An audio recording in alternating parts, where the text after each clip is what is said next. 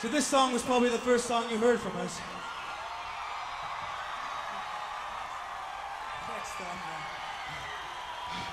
And I want to do it again with you guys. Because that song, to us, is what the attitude of Trapt is. We make up our own fucking minds, right?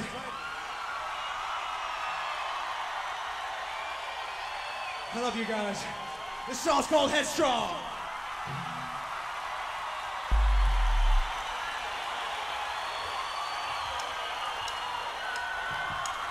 you.